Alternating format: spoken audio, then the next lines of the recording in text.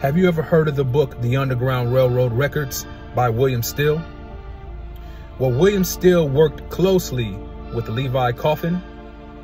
And what he did was he recorded slaves' stories and he compiled them into a book, giving a real life experience on what they were going through. A little bit about William Still. He was a underground railroad conductor.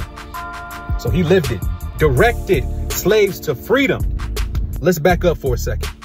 William Still was a freed slave that reached his hand back to pull people forward.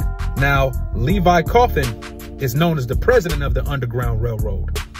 William Still is known as the father of the Underground Railroad.